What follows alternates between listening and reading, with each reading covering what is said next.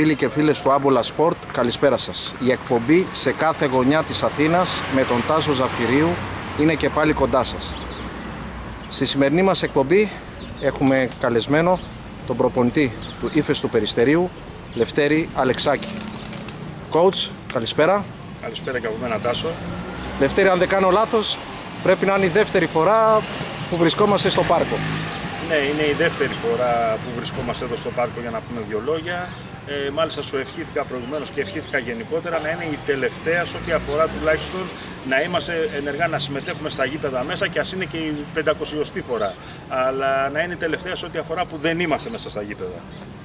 Πριν ξεκινήσουμε να πούμε κάτι, θα ήθελα Βεβαίως. πραγματικά να σου δώσω συγχαρητήρια γιατί βλέπω τη δουλειά σου και γενικότερα το Άμπολα Σπορ εκεί σε όλη την Αττική γυρνάτε ε, και σε μια περίοδο που είναι πολύ δύσκολη για το αθηναϊκό ποδόσφαιρο και γενικά για το ερασιτεχνικό ποδόσφαιρο. Εσείς οι δημοσιογράφοι έχετε κρατήσει πραγματικά σε πολύ υψηλό επίπεδο ε, τον χώρο αυτό και σας αξίζουν πάρα πολλά συγχαρητήρια. Ευχαριστώ, coach. Ε, ήμασταν και χθες ε, στην πλατεία Συντάγματος. Ναι.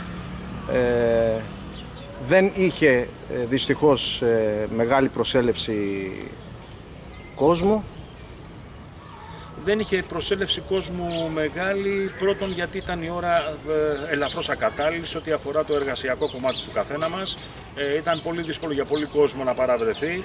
Αν και η προσωπική μου άποψη, την είπαμε και στο τηλέφωνο να την πούμε και ανοιχτά εδώ, είναι Βεβαίως. ότι το να μαζευτούμε πολλοί κόσμος στο Σύνταγμα, οκ, δείχνουμε κάποια πράγματα ότι ε, πραγματικά αναπολούμε το ποδόσφαιρο, θέλουμε να γυρίσουμε, θέλουμε πολλά, όμως ε, θεωρώ ότι ε, οι αποφάσεις παίρνονται από άλλους ανθρώπους οι οποίοι πιθανώς να μην τους λένε και πολλά το να συγκεντρωθούν πολλοί κόσμος ε, σε αυτούς τους χώρους.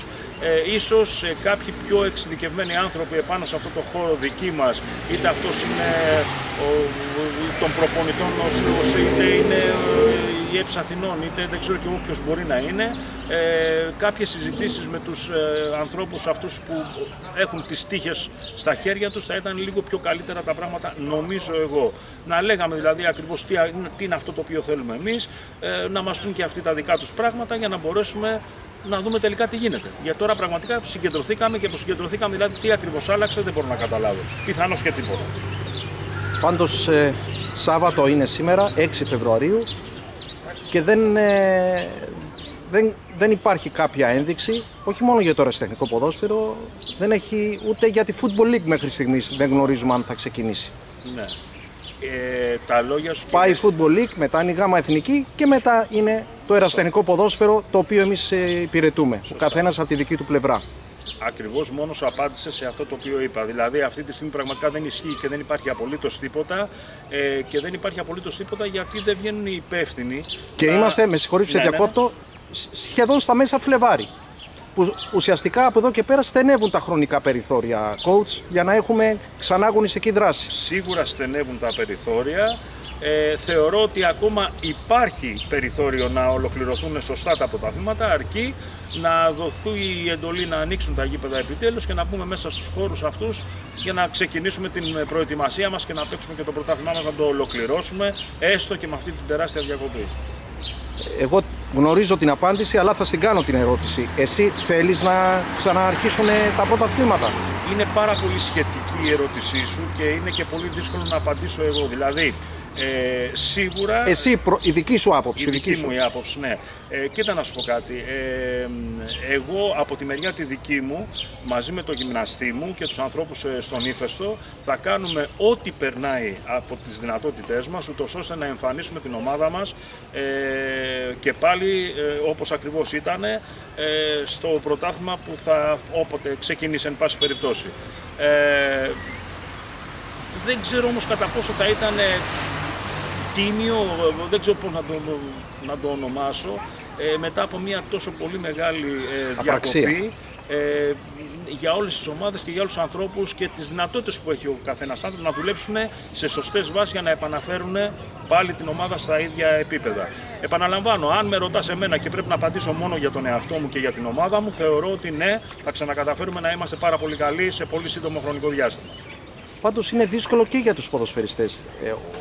Ε, όποιο πρόγραμμα και να έχει δώσει ο εκάστοτε προπονητής και εσύ στους δικούς σου παίκτες, είναι δύσκολο να το τηρούν καθημερινά μόνο με τρέξιμο και να επανέλθουν. Είναι πάρα πολύ δύσκολο γιατί. Και κουράζεται και ψυχολογικά ο ποδοσφαιριστής. Ναι, ήδη έχουμε κουραστεί πάρα πολύ γιατί έχουμε συμπληρώσει τρεις μήνες ε, πλέον ε, έξω από τα γήπεδα. Ε, έχουμε κουραστεί πάρα πολύ. η υπομονή μας αρχίζει και εξαντλείται θα έλεγα και νομίζω ότι καλό θα ήταν ειλικρινά οι άνθρωποι οι οποίοι έχουν τις τύχες στα χέρια τους να δώσουν επιτέλους το πράσινο φως, να πούμε γιατί θέλω να θυμίσω σε όσους δεν τον θυμούνται και ειδικότερα στους ανθρώπους οι οποίοι επαναλαμβάνω έχουν τις τύχες στα χέρια τους ε, ότι στη διάρκεια που παίζαμε κανονικά ε, σε αυτά τα 7 μάτς που δώσαμε τα επίσημα συν την προετοιμασία από Αύγουστο κτλ τα κρούσματα και γενικότερα τα προβλήματα σε ό,τι αφορά το ποδόσφαιρο και τους ανοιχτούς χώρους ήταν απειροελάχιστα έως ανύπαρκτα που δείχνει ότι τουλάχιστον σε αυτό το κομμάτι δεν είχαμε κανένα απολύτως πρόβλημα. Μάλιστα, ε, έμαθα ότι μετέπειτα και κατά τη διάρκεια των τριών μηνών που διανύουμε τώρα της διακοπής, τα κρούσματα μεγαλώσανε και έχουμε πολύ περισσότερα κρούσματα σε πολλά παιδιά, σε πολλούς ανθρώπους κτλ. τα οποία δεν υπήρχαν πριν. Οπότε, με βάση αυτό και εφόσον πάντα μιλάμε για στατιστικά, θεωρώ ότι κακώς κλείσαν τα γήπεδα. Και ειδικότερα τα ανοιχτά γήπεδα. Μιλάς με τους συνεργάτες σου, με τον Δημήτρη τον Μαυρίκο, με τον Τάκη τον Τριανταφύλου. Τι σου λένε αυτοί; Είναι... Την ίδια άποψη έχουμε, δεν διαφέρει η άποψή μας, ε, αλλά η άποψη δική μου με κάποια άλλη ενδεχομένως να διαφέρει. Εμείς λέμε την δική μας την άποψη. Θεωρούμε, όπως είπα και προηγουμένως, ότι την ομάδα θα την ξαναφτιάξουμε και θα την πάμε πάλι πολύ σωστά και πολύ οργανωμένα σε αυτό το κομμάτι το οποίο θέλουμε αλλά δεν λέει και τίποτα αυτό. Με τη διοίκηση είσαι σε επικοινωνία με τον Στο πρόεδρο. Στο μέτρο με... του δυνατού είμαστε. Εντάξει, τώρα κακά τα ψέματα να είμαστε ειλικρινείς. Αυτό το οποίο περνάμε, κοιτάει ο καθένας τώρα να δει τι γίνεται, γιατί ακόμα χαμένοι είμαστε.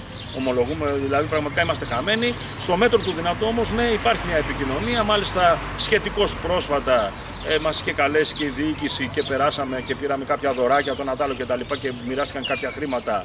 Εν πάση περιπτώσει έτσι για το καλό ε, της εποχής ε, και όλων αυτών των πραγμάτων που ζούμε. Άρα η διοίκηση είναι δίπλα ε, στο ποδοσφαιρικό τμήμα. Δεν, Παρά είχαμε, ναι, δεν είχαμε κανένα πρόβλημα ποτέ με τη διοίκηση, ούτε και τώρα έχουμε και πιθανολογώ ότι δεν θα, θα συνεχίσουμε και δεν θα έχουμε. Ε, το πρόβλημα το μεγάλο είναι αυτό το οποίο είπα προηγουμένως, ότι ε, εγώ προσωπικά πραγματικά ε, θέλω να ξεκινήσει αύριο αν γίνεται και να ξαναπούμε μέσα στα γήπεδα. Και το θέλω το δικό μου, όπως αντιλαμβάνεσαι, δεν έχει να κάνει μόνο με μένα, έχει να κάνει θεωρώ στο 95% των ανθρώπων που ασχολούνται με το ερασιτεχνικό ποδόσφαιρο, νομίζω ότι το αντιπροσωπεύω. Coach, τα παιδιά, οι παίκτες, τι πράττεις από τους παίκτες, τι σου λένε οι, οι παίχτε, επειδή αυτό το ρώτησες προηγουμένως και ξέχασα να το απαντήσω για το θέμα το πόσο μπορούν να προπονηθούν τώρα που είναι μόνοι τους, ε, θέλω να πω το εξής, το οποίο δεν είναι καλό για τον Έλληνα ποδοσφαιριστή, αλλά είναι και πραγματικότητα. Ο Έλληνας ποδοσφαιριστής, αν υστερεί κάπου σε, σε σχέση με τους υπόλοιπους στις προηγμένες ποδοσφαιρικά χώρες, είναι το ότι ποτέ δεν του άρεσε η προπόνηση. Και δεν του άρεσε η προπόνηση γιατί δυστυχώς πολλοί προπονητές ή γυμναστές ή οτιδήποτε, τα προγράμματα τα οποία βγάζαν δεν ήταν τέτοια τα οποία να τους κρατάνε σε μια εγρήγορση και να τους κρατάνε σε μια καλή κατάσταση και να γουστάρουν αυτό το οποίο κάνουν.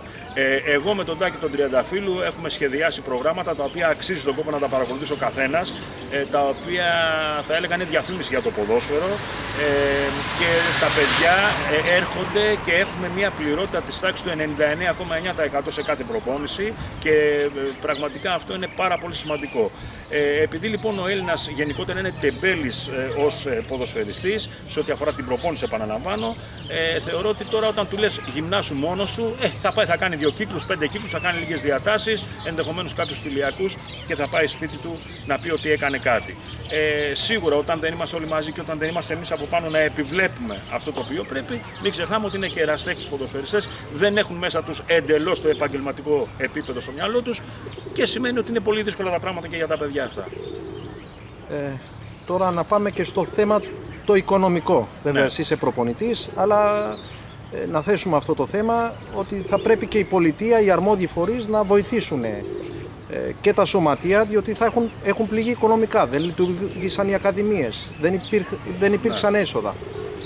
Ναι, είναι ένα πάρα πολύ σημαντικό ερώτημα και αυτό και αυτό η πολιτεία μαζί με τις ενώσεις εκάστοτε πόλης, θα ήταν καλό να το κοιτάξουν. Αυτό σίγουρα είναι πάρα πολύ σημαντικό. Όμως θέλω να μείνω σε κάτι άλλο το οποίο δεν έχει ακουστεί καθόλου. Πάρα πολλοί προπονητές, πέραν το οικονομικό κομμάτι που είναι ένα πάρα πολύ σοβαρό για την κοινωνία μας κομμάτι, ε, πρέπει να πω λοιπόν ότι πάρα πολλοί προπονητές, νεότεροι και μεγαλύτεροι σε ηλικία, ακόμα και εγώ ίδιος αν θέλεις, ποδοσφαιριστές νέοι οι οποίοι φιλοδοξούν να κάνουν καριέρα, ε, είμαστε φιλόδοξοι άνθρωποι, θέλουμε μέσα από τις δουλειές μας να αναγνωριστούμε, να συνεχίσουμε, να αναρριχηθούμε ενδεχομένως και να αποκτήσουμε και περισσότερα χρήματα μέσα από τη δουλειά μας, αν πραγματικά αξίζει τον κόπο. Όλο αυτό το κομμάτι λοιπόν έχει πάει στην άκρη. Τα παιδιά μένουν πίσω, δεν προπονιόνται. Ε, Εμείς οι προπονητές, ε, τι να παρουσιάσουμε, σε ποιον να το παρουσιάσουμε κτλ. κτλ, κτλ. Είναι και αυτό λοιπόν ένα κομμάτι το οποίο δεν έχει συζητηθεί πολύ και επαναλαμβάνω ότι είναι πάρα πολλά τα μικρά κομματάκια τα οποία κάνουν ένα πολύ μεγάλο κομμάτι ε, που λέγεται ερασιτεχνικός αθλητισμός και θέλω να τονίσω εδώ ότι ο, ο επαγγελματισμός, ο, ο επαγγελματικός, συγγνώμη, ε, το επαγγελματικό ποδόσφαιρο δεν θα υπήρχε σε περίπτωση που δεν υπήρχε το ερασιτεχνικό. Το ερασιτεχνικό ποδόσφαιρο προσφέρει παίχτες στο επαγγελματικό και όχι το επαγγελματικό στο ερασιτεχνικό. Αυτό λοιπόν μάλλον δεν το γνωρίζουν ή κάνουν ότι δεν το γνωρίζουν ή ενδεχομένως να μην το γνωρίζουν γιατί δεν έχουν καμία σχέση με την μπάλα. Και να σου θέσω το ερώτημα, μια που ανέφερες, πολλοί συνάδελφοί σου coach ε, ζουν αποκλειστικά από το ποδόσφαιρο. Ναι. Υπάρχουν προπονητές που δεν κάνουν κάποια άλλη εργασία παρά μόνο ε, με την προπονητική. Είτε σε ανδρικά τμήματα είτε στις ακαδημίες. Ναι. Εδώ ναι, αυτός ο κλάδος των παιδιών αυτών έχουν πληγεί πάρα πολύ. Έχουν χάσει κάποια χρήματα τα οποία παίρναν, τα οποία πάνω σε αυτά είχαν στηρίξει κάποια πράγματα, το ενίκαιό τους, ε, τις αγορές τους, οτιδήποτε είναι αυτό, σίγουρα έχουν πρόβλημα μεγάλο. Ε, είναι, γι' αυτό είπα προηγουμένως, είναι πολλά τα μικρά κομμάτια που δημιουργούν ένα πολύ μεγάλο κομμάτι, το, το οποίο πιστεύω δεν, δεν έχουν δώσει την απαιτούμενη προσοχή οι άνθρωποι αυτοί οι οποίοι κάνουν κουμάντο. Θεωρώ εγκληματικό αυτό το οποίο γίνεται εδώ και τρεις μήνες και συνεχίζει και είναι εγκληματικό σε περίπτωση που δεν ανοίξουν αύριο και όλα στα γήπεδα και σίγουρα όταν ανοίξουν, όπως το έχουμε ξαναπεί, χρειάζεται κάποιο χρονικό διάστημα. Ναι. Πιστεύεις όμως και οι 15 μέρες είναι αρκετές μετά από τόση απραξία; Όχι, αρκετές δεν είναι. Ε, όμως είναι τέτοια η όρεξή μας, η διάθεσή μας, το μεράκι μας να ξαναπούμε στους αγωνιστικούς χώρους για να ξεκινήσουμε αυτό το οποίο είπες προηγουμένως, να γυμναστούμε για να μπορέσουμε να παίξουμε, όπου πιστεύω ότι είναι και θέμα ψυχολογίας και η ψυχολογία ξέρουμε στο ποδόσφαιρο είναι πάρα πολύ σημαντικό κομμάτι όπως γενικότερα στον αθλητισμό. Πιστεύω λοιπόν ότι θα είναι τέτοια η ψυχολογία μας που ενδεχομένως εκεί που θα μπορούσαμε να παίξουμε μέρες από το 10 να είμαστε στο 7-8, πιστεύω με την ψυχολογία που θα αποκτήσουμε μπαίνοντας στα γήπεδα μέσα θα φτάσουμε στο 9 από την καριέρα σου ως προπονητής τόσα χρόνια. Αυτή πρέπει να είναι η πιο στενάχωρη στιγμή στην καριέρα σου. Κυριολεκτικός. Κυριολεκτικός. Δόξα τω Θεώ, μετά που μπήκα στον 21ο χρόνο τώρα το 2021 προπονητικής μου καριέρας. Δόξα τω Θεώ έχω ζήσει πάρα πολύ σημαντικά πράγματα, πολλές επιτυχίες. Ε, μεγαλύτερη πραγματικά στεναχώρια μου είναι αυτό το οποίο βιώνουμε ε, εδώ και 10 μήνες περίπου. Πραγματικά είναι ε, ό,τι χειρότερο θα μπορούσε να μου συμβεί σε ό,τι αφορά αυτόν τον χώρο. Ο χρόνο, το, το χρόνο τώρα πόσο να αντικαθιστάς, δηλαδή το χρονικό διάστημα που έκανες την προπόνηση στο γήπεδο. Τι κάνεις αντικαθιστώντας ε, ε, με έχουν βαρεθεί στο σπίτι γιατί το μοναδικό πράγμα που κάνω είναι να βλέπω παλιά παιχνίδια, να διαβάζω βιβλία προπονητικής, διάφορα βιβλία ποδοσφαίρων εν πάση για να μην πω συγκεκριμένα πράγματα. Ε, ασχολούμαι συνεχώς με το ποδόσφαιρο για να μπορέσω να καλύψω, αλλά δεν καλύπτεται, δεν καλύπτεται τάσο. Ό,τι και να κάνω, όπως και να το κάνω, δεν καλύπτεται. Ωραία. Και για να ξεφύγουμε τώρα, μια που τις ανέφερες, θα ήθελα να μου ξεχωρίσεις δύο-τρεις τις καλύτερες σου στιγμές ως προπονητής. Γενικότερα ή στον ύφεστο περιστερίου. Γενικά. Σε όλη σου την καριέρα. Ποιες είναι οι δύο-τρεις στιγμές που ξεχωρίζεις; Κοίτα να σου πω κάτι. Ε, που, σου, που σου έρχονται τώρα στη μνήμη αυτή ναι, τη στιγμή. Ναι. Καταλαβαίνω τι εννοείς. Ε, σου μιλάω ειλικρινά, είναι τόσο πολλές οι στιγμές οι καλές που έχω που πραγματικά θα ήταν κρίμα να ξεχωρίσω κάποιες. Δηλαδή, έχω πάρει πάρα πολλούς τίτλους, ε, οι οποίοι αυτοί είναι οι οποίοι μας δίνουν ας πούμε και τα λοιπά την, ε, πώς να πω, την αναγνωρισιμότητα όμως ε, έχω και παρουσίες όπως παραδείγματος χάρη στο Ηράκλειο, στην ομάδα του Ηράκλειου όπου δύο χρόνια από την προπονητική μου καριέρα που ήμουν εκεί έζησα απίστευτες στιγμές τόσο εγώ όσο και οι άνθρωποι αυτοί ε, χωρίς τίτλο. Βέβαια η ομάδα ήταν, είχαμε ξεκινήσει με βάση να μην πέσει κατηγορία, αλλά εμείς διεκδικούσαμε πρωτάθλημα. Ε, και, αλλά τα δύο χρόνια αυτά ήταν σημαντικά. Τώρα, εάν πάμε από πλευράς τίτλων, μία από τις μεγαλύτερες τιμέ μου είναι η κατάκτηση δύο μαζεμένων τίτλων με τον ύφεστο Περιστερίου πριν από περίπου 10 χρόνια όταν είχαμε πάρει το πρωτάθλημα στην Αθήνα στην Α κατηγορία και είχαμε ανέβει στην σημερινή Γ εθνική κατηγορία και εκείνη την εποχή γινόταν και ο τελικός του υπερπρωταθλητή, δηλαδή η ομάδα του Α ομίλου με του Β ομίλου παίζαν μεταξύ τους για τον υπερπρωταθλητή. Τότε είχαμε κερδίσει, θυμάμαι, τον όμιλο Περιστερίου με 4-0 στον τελικό στο γήπεδο του Ατρόμου του Περιστερίου μπροστά σε τουλάχιστον 3 με 4.000 κόσμο. Αυτές ήταν οι δύο πάρα πολύ σπουδαίες στιγμές. Αλλά είναι και οι υπόλοιποι τίτλοι και τόσες άνοδοι που έχω κάνει με ομάδες, όπως ακόμα ακόμα και να μην υποτιμήσουμε και την άνοδο με τον Ολυμπιακό Κερατσινίου στο Περιαϊκό Πρωτάθλημα, όπου ανέβασα μια ομάδα η οποία δεν είχε ανέβει ποτέ στην ιστορία της στην άλλη κατηγορία. Και άλλες τέτοιες ανόδους, έχω ανεβάσει τέσσερις φορές τον Κολονό, ε, έχω κάνει πάρα πολλά πράγματα. Γι' αυτό σου λέω ότι αν ξεχωρίσουμε κάτι θα ήταν κρίμα για τα υπόλοιπα όλα. Αλλά ως σημαντικότατες τιμές θεωρώ αυτές τις δύο με τον ύφεστο πριν από περίπου 10 χρόνια. Και ποια ομάδα έχεις στην καρδιά σου, τον ύφεστο Περιστερίου. Στην καρδιά μου. Ε... Σε όσες εργάστηκες. Ε ως προπονητής πάντα μιλάω, επαγγελματικά. Ναι. Ε, σίγουρα ε, δεν θα το πάω με τη σειρά, όμως θα ονομάσω τρεις ομάδες και επαναλαμβάνω δεν το πάω με τη σειρά γιατί και εγώ δεν την ξέρω. Λοιπόν, είναι η ομάδα του Κολονού, όπου δικαιωματικά ενδεχομένως να παίρνει και την πρώτη με την έννοια ότι το 1992 μου έδωσε την ευκαιρία να ξεκινήσω την προπονητική μου καριέρα σε μικρή ηλικία, 28-29 χρονών. Ε, και συνέχισα, από εκεί ξεκίνησα λοιπόν Οπότε θεωρώ ότι είναι πολύ σημαντικό να σου δίνει την ευκαιρία μια ομάδα να ξεκινάς την προπονητική σου καριέρα. Ε, από εκεί και έπειτα, σίγουρα ο ύφεστος είναι η ομάδα η οποία έχω κάνει πάρα πολλά πράγματα. Τρία χρόνια παλιά και ένα χρόνο τώρα που πλησιάζουμε τέσσερα χρόνια. Με πάρα πολλές επιτυχίες, σπουδαίες χρονιές. Γιατί μην ξεχνάμε ότι την πρώτη χρονιά που πήγα στον ύφεστο, έσωσα την ομάδα που ήταν προτελευταία και την επόμενη καπάκια ανεβήκαμε στην τέταρτη εθνική, σημερινή τρίτη εθνική. Ε, και πήραμε και το υπερπρωταθλητικό που είπαμε προηγουμένως. Ε, από εκεί και έπειτα θεωρώ ότι η επόμενη ομάδα είναι το Ηράκλειο που πραγματικά ε, θα πω μόνο μια εικόνα που έζησα όταν έφυγα από το Ηράκλειο υπήρξαν άνθρωποι οι οποίοι έκλεγαν και αυτό δεν θα το ξεχάσω ποτέ μα ποτέ στην προπονητική μου καριέρα. Άνθρωποι οι οποίοι έκλεγαν που έφευγαν από το σύλλογο. Νομίζω ότι αυτό τα λέει όλα. Λευτέρη, κάποιο παιχνίδι που ακόμα το θυμάσαι, ένα αποτέλεσμα ενός παιχνιδιού που σου έχει μείνει στη μνήμη; Είναι, είναι, είναι χιλιάδες τα παιχνίδια, όπως αντιλαμβάνεσαι, είναι πάρα πολλά παιχνίδια. Θα μείνω όμως ε, στον τελικό του υπερπροταλτιών τότε με τον Όμιλο Περιστερίου, ύφεσος Όμιλο στο 4-0, γιατί οι στιγμές ήταν απίστευτες σε κάτι πρωτόγνωρο ε, κτλ. Δηλαδή θεωρώ ότι είναι πολύ δεν πρέπει να υπάρχουν εύκολα κάποιες ομάδες όπως έχουν πάρει δύο τίτλους μαζεμένους και ήμασταν μία από αυτές εμείς. Και αν ε, θυμάσαι έτσι να μου αναφέρεις ονόματα κάποιων ποδοσφαιριστών, oh, κάποια ονόματα που σου έρχονται στη μνήμη, με τους οποίους συνεργάστηκες. Ε, είναι πάρα πολλά τα παιδιά. Με, με επαγγελματίες έχω συνεργαστεί, με εξαιρετικούς παίχτες έχω συνεργαστεί, ασχέτως αν κάναν καριέρα ή όχι. Όμως, αν πρέπει να πατήσω κάπου και τα λοιπά είναι η συνεργασία μου με το Σέμπουε. Ε, πιστεύω να τον ξέρεις το Σέμπουε, τον Κέβιν, ο οποίος ε, στον ύφεστο Περιστερίου και αυτό πριν από περίπου 10-11 χρόνια. Σωστά. Όπου είχαμε και σχέσεις πλέον και φιλικές μετά αφού τελείωσε με το ποδόσφαιρο. Ε, ένα εκπληκτικό παιδί, ένας εκπληκτικός ποδοσφαιριστής, ο οποίος ε, με παρακαλούσε, θυμάμαι τώρα έτσι μια και το συζητάμε, να κάνει αυτό του κοιλιακούς ε, στην ομάδα όταν κάναμε παρά το ότι υπήρχε γυμνάστης. Με παρακαλώς και μου λέει: Coach, σε παρακαλώ, θέλω εγώ κοιλιακούς κάνει και τα λοιπά και τον άφηνα φυσικά να κάνει του κοιλιακούς. Ε, ένας εξαιρετικός άνθρωπος, ένας εξαιρετικός παίχτη. Ε, έχω τρομερές αναμνήσεις από αυτό το παιδί. Τρομερές αναμνήσεις.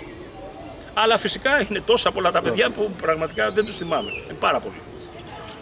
Από την ε, φετινή ομάδα του ναι. του Περιστερίου στις 7 αγωνιστικές που έχουν ε, διαξαχθεί μέχρι τη διακοπή του πρωταθλήματος. Αν σου έλεγα να μου πεις ποιος ήταν ο καλύτερος παίκτης κατά τη δική σου άποψη στα 7 αυτά παιχνίδια. Ναι. Τώρα και εδώ είναι... Την ερώτηση που έκανα και στα παιχνίδια αν θυμάσαι. Ποιος ήταν ο MVP του κάθε παιχνιδιού.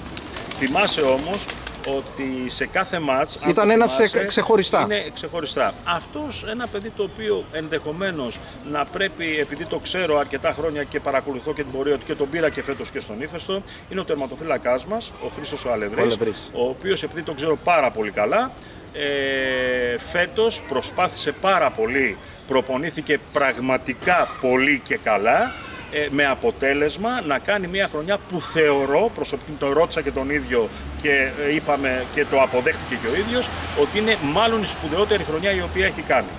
Ε, αυτό λοιπόν το έφερε μέσα από πολλή δουλειά, αυτό που φωνάζω και λέω στα παιδιά, σε όλα τα παιδιά που συνεργάζομαι, ότι μέσα από τη δουλειά βγαίνουν πάρα πολύ, πολύ τρομερά αποτελέσματα και ε, ένα από τα παιδιά το οποίο πραγματικά αξίζει να του δώσουμε σημασία είναι ο Χρήστος Αλευρής, ο οποίος δούλεψε πολύ και έχει δικαιωθεί σίγουρα πρέπει να σε δικαίωσε και ο Χρήστος, ο Βουλωμένος. Ο οποίος, ε... Χρήστος ε, είναι ένα παιδί το οποίο ήρθε ε, σχεδόν τελευταία στιγμή στην ομάδα. Σωστά. Ε, ήταν, το παραδέχτηκε και ο ίδιος, ήταν ανέτοιμος, δούλεψε πάρα πολύ στην προετοιμασία.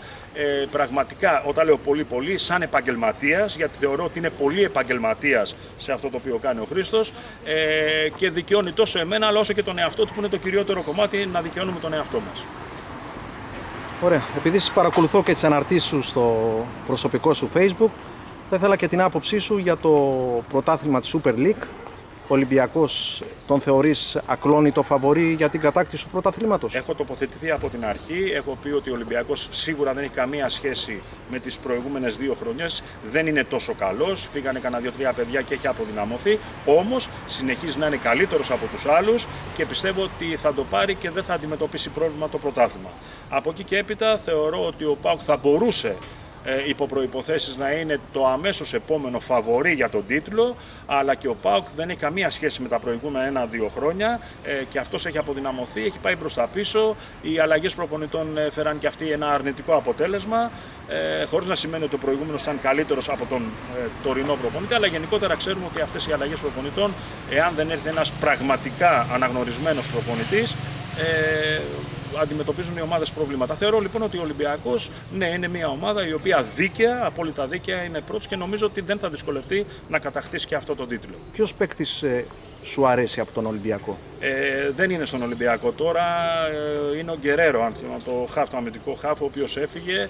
Ε, πραγματικά τον θαύμαζα αυτό τον ποδοσφαιριστή. Θα ήθελα πολύ να συνεργάζομαι με τέτοιου είδους ποδοσφαιριστές. Ένα παιδί το οποίο έτρεχε ασταμάτητα μες στον αγωνιστικό χώρο, ξέρε πάρα πολύ μπάλα, πολύ ποιότητα και τέτοια χάφ πραγματικά χαίρεσαι να, να συνεργάζεσαι και για τα ερχόμενα παιχνίδια του Ολυμπιακού στο Europa League, πιστεύεις ότι έχει ελπίδες να προκριθεί ο Ολυμπιακός; Κοίτα, η Eindhoven που την είδα στο, στα μάτια με τον Μπάουκ που δεν μου δείξε ότι είναι φόβητρο για τον Ολυμπιακό. Ο περσινός Ολυμπιακός και ο προπέρσινος θα έλεγα ότι την έχει περάσει ήδη.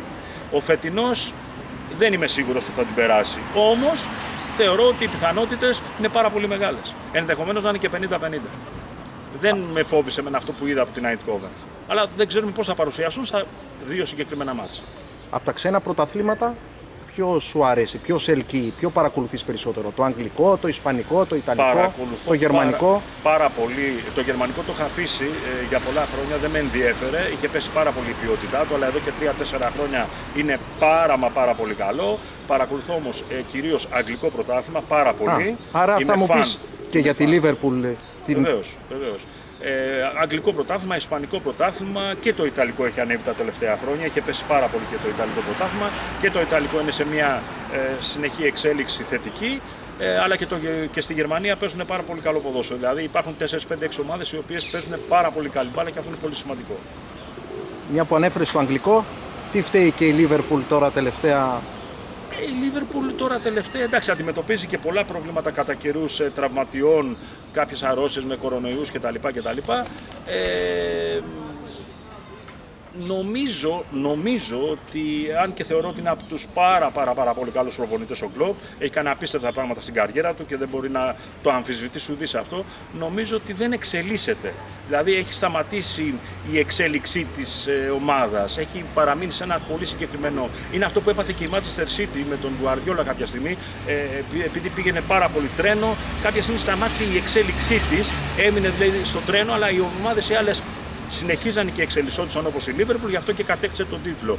Ε, θεωρώ ότι κάτι συμβαίνει ναι, στη Λίβερπουλ, κάτι δεν πάει καλά σε ό,τι αφορά αυτό το τομέα εξέλι. Δηλαδή ε, έχουν πατήσει σε αυτό το οποίο έχουν κάνει και έχουν μείνει εκεί. Και δεν υπάρχει χειρότερο πράγμα από αυτό. Πρέπει ο προπονητής λοιπόν, της Λίβερπουλ, κατά την προσωπική μου άποψη, να συνεχίσει την εξέλιξη της ομάδα παίρνοντας κάποιες μεταγραφές γιατί δεν μπορεί. Μια, διάβασα τώρα τις προάλλες ότι η Λίβερπουλ είναι από τις πλουσιότερες ομάδες στον πλανήτη. Ε, δεν λογίζεται λοιπόν αυτή η ομάδα να φεύγει ο Φαν Ντάικ παραδείγματο χάρη με τραυματισμό και να μην έχει ένα παιδί αντάξιο, ε, αν όχι ο ίδιος, κάτι το οποίο να είναι πολύ κοντά σε αυτό το κομμάτι. Θεωρώ ότι πρέπει να πάρει ένα-δύο ποδοσφαιριστές ακόμα ε, ποιοτικούς γιατί έχει τη δυνατότητα για να συνεχίσει την πορεία της. Είναι πάρα πολύ καλή ομάδα. Καταπληκτική ομάδα. Πώς δεν σε ρωτάω από την Ελλάδα ποια ομάδα υποστηρίζεις, θα σε ρωτήσω στην Αγγλία. Και Τι... να θες να με ρωτήσεις και για την Ελλάδα, δεν έχω πρόβλημα. Ωραία. Λοιπόν, ε, στην Ελλάδα τότε. Στην ποια Ελλάδα, ομάδα υποστηρίζεις; Στην Ελλάδα δεν ξέρω αν γνωρίζεις, αλλά το 1982 με είχε αποκτήσει ο Παναθηναϊκός από τον Κολονό εδώ ως μεταγραφή, παίρνοντάς του τότε του Κολονού και τα ιδιόχτα γραφεία τα οποία έχει ακόμα και σήμερα στη Μαρονία, στο Μαρονίας. Οπότε μπαίνοντας στην Παιανία έζησα κάποια πράγματα τα οποία ήταν έξω από κάθε λογική για εμένα τότε πιτσιρικάς. Ε, και ναι, ε, και κάποια στιγμή και ο Βαρδινογιάννης, ο Γιώργος μου κάνει ένα τεράστιο καλό σε προσωπικό πρόβλημα υγείας το οποίο είχα. Ε, Όπως αντιλαμβάνεσαι, λοιπόν, όλοι αυτοί οι τομείς με έχουν κάνει να, είμαι, ε, να υποστηρίζω τον Παναθηναϊκό. Όμως θέλω να διευκρινίσω κάτι. Να σε διακόψω κόμμα, σε ποια θέση αγωνιζόσουν. Σέντερφορ. Ήσουν Σέντερφορ. Ναι. Ε, θέλω να πω λοιπόν το εξής, ότι για εμένα, ε, εγώ είμαι πρώτα φανατικός οπαδός του ποδοσφαίρου και μετέπειτα είμαι φίλαθλος του Παναθηναϊκού. Πρέπει να τα διαφοροποιούμε αυτά. Ε, είναι πάρα πολύ σημαντικό εμείς που αγαπάμε το ποδόσφαιρο ως ποδόσφαιρο, ανεξαρτήτως τι ομάδα είμαστε, γιατί κάπου θα θέλουμε να έχουμε μια ομάδα να υποστηρίζουμε, ε, να είμαστε πρώτα του ποδοσφαίρου, να αναγνωρίζουμε τις επιτυχίες και τις αποτυχίες μας και να κοιτάμε να τα λέμε αυτά και όχι να τα κρύβουμε. Αυτό για μένα είναι πάρα πολύ σημαντικό. Πρέπει να είμαστε πρώτα φίλαθλοι του ποδοσφαίρου και μετά των ομάδων των οποίων υποστηρίζουμε. Να μην είμαστε οπαδοί δηλαδή, του χειρίστου ίδιου. Ε, και μια που ανέφερες στον Παναθηναϊκό, θα ήθελα την άποψή σου για τον Παναθηναϊκό. Τον ναι. φετινό Παναθηναϊκό. Ο Παναθηναϊκός ο φετινός είναι λίγο ταλαιπωρημένος, ε, όπως είναι τα τελευταία χρόνια πολύ ταλαιπωρημένος για διαφόρους λόγους τους οποίους τους ξέρουν οι έχοντες εκεί τα, τις τύχες της ομάδος. Ε, φέτος ε, για άλλη μια φορά γίνεται μια πολύ μεγάλη προσπάθεια με νέα παιδιά ο προπονητής τώρα που έχει έρθει ο Πόλωνη, αν και κάτι με ξενίζει σε αυτόν τον άνθρωπο, δεν ξέρω τι είναι αυτό. Παρ' όλα αυτά δεν μπορώ να μην αναγνωρίσω ότι ο Παναθηναϊκός πλέον έχει αποκτήσει μια ταυτότητα παιχτική. Ε, παίρνει ε, αποτελέσματα, πάρα πολύ σημαντικό αυτό για το ποδόσφαιρο ε, και υπάρχει μέλλον, μάλλον θα μπορούσε να υπάρχει μέλλον αν μπορέσει η διοίκηση να είναι εντάξει απέναντι στις υποχρεώσεις και να κάνει κάποιες μεταγραφές. Γιατί με εξαίρεση του πιτσιρικάδες πρέπει να υπάρξουν και κάποια παιδιά ποιοτικοί να μπουν μέσα στην 11 και να δώσουν μια άλλη οντότητα. Γιατί μην ξεχνάμε ότι αυτή είναι η ομάδα λέγεται Παναθηναϊκός. Δεν είναι μια ομάδα η οποία μπορεί με τα πιτσιρίκια να βγάλει πρωταθλήματα. Θέλει ποιότητα, θέλει έμπειρους παίχτες, τους οποίους δεν τους διαθέτει. Και εκεί είναι το μειονέκτημα το μεγάλο. Ε, και να σε πάω τώρα αρκετά λίγο πιο πίσω, μια που ανέφερες, μου είπες ήσουν ένα center for. Ναι. Ε, θυμάσαι τώρα έτσι, ξεχωρίζεις ένα-δύο γκολ. Ε... Ε, πολλά γκολ ξεχωρίζω. Ε, αλλά αυτό δεν ξέρω, για κάποιο λόγο που μου έχει κάτσει έτσι στο μυαλό εδώ και πάρα πολλά χρόνια είναι ένα μάτς ε, πρωταθλήματος όταν με είχε δώσει δανεικό ο Παναθηναϊκός στην ομάδα του Αττικού που είναι εδώ η γειτονιά.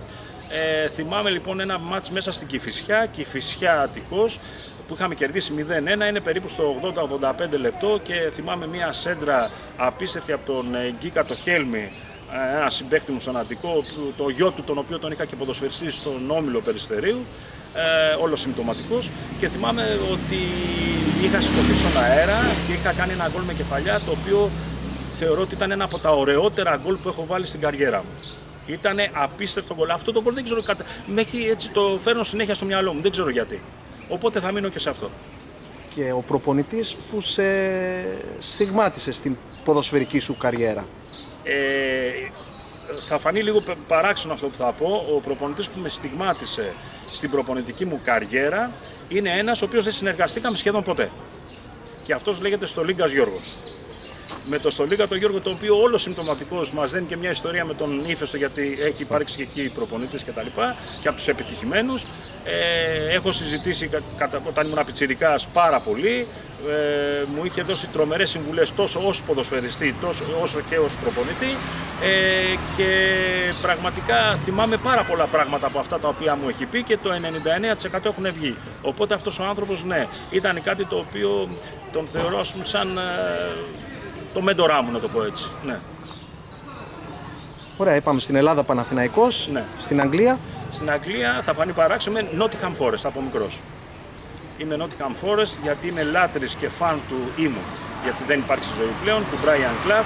Ε, έτυχε να πάω στην Αγγλία το 1986, έτυχε να πάω στην ε, στις εγκαταστάσεις της Nottingham Forest ε, για να μείνω 2-3 μέρες, τελικά έμεινα 16 μέρες εκεί, με κρατήσανε μέσα, συζήτησα πάρα πολλές ώρες, μου έδωσε τρομερά πράγματα στο μυαλό μου και ο συγκεκριμένος προπονητής, τα οποία ακόμα και σήμερα ε, πραγματικά μου βγαίνουν και είμαι πάρα πολύ ευτυχισμένος και χαρούμενος που γνώρισα αυτόν τον άνθρωπο. Και στην Ισπανία, Ρεάλ ή Μπαρτσελώνα. Ε, είμαι με το ποδόσφαιρο εκεί δεν έχω κάποια συγκεκριμένη ομάδα. Ε, όταν παίζουν ωραίο ποδόσφαιρο η Μπαρσελόνα, είμαι με την Μπαρσελόνα. Θέλω δηλαδή αυτοί που παίζουν ωραίο ποδόσφαιρο να κερδίζουν κιόλας κάτι που δεν γίνεται βέβαια πάντα. Αλλά ναι, έχω υπάρξει στην Μπαρσελόνα γιατί μου αρέσει αυτό το οποίο μου έδειχνε. Έχω υπάρξει Ρεάλ γιατί μου άρεσε αυτό το οποίο μου έδειχνε. Ατλέτικο Μαδρίτης ενδεχομένως γιατί έχει έναν άλλο τρόπο παιχνιδιού, δεν σε εντυπωσιάζει, αλλά έχει έναν τρόπο ο συγκεκριμένος προπονητής να παίρνει κάποια μάτς και είναι και αυτό μέσα στη λογική του ποδόσφαιρου. Ε, εκεί είμαι, ναι, είμαι με το ποδόσφαιρο εκεί και μόνο. Ωραία. Coach, κλείνοντας, θα ήθελα το δικό σου μήνυμα, το μήνυμα του προπονητή του ύφη του Περιστερίου Λευτέρη Αλεξάκη, ναι. σε όλους όσους ασχολούνται με το αεραστεχνικό ποδόσφαιρο της Αθήνας. Ε, ευχή θα κάνω, θα δώσω. Εύχομαι πραγματικά το γρηγορότερο δυνατόν οι άνθρωποι αυτοί, όπως έχω πει αρκετές φορές σήμερα, που κρατάνε τις τύχες του αεραστεχνικού ποδοσφαίρου στα χέρια τους ε, και γενικότερα ε, του ποδοσφαίρου να πάρουν μια απόφαση να επιστρέψουμε γρήγορα στα γήπεδα και να ξαναβρεθούμε σε χώρους που πραγματικά έχουμε λατρέψει και δεν μπορούμε χωρίς αυτούς. Η ζωή μας είναι ε, χαραγμένη μέσα σε αυτούς τους χώρους. Δεν μπορούν να, τους στερήσουν, να μας τους στερήσει κανένας. Δυστυχώς όμως εδώ και τρεις μήνες μας τους έχουν στερήσει και αυτό είναι το χειρότερο. Εύχομαι λοιπόν προς όλους τους ανθρώπους που ασχολούνται με το ερασιτεχνικό ποδόσφαιρο ε, σε όλη την Ελλάδα ε, και ειδικότερα στην Αθήνα όπου εδώ είμαστε, να, το γρηγορότερο δυνατόν να ξαναβρεθούμε μέσα στους χώρους και να αγκαλιαστούμε πραγματικά.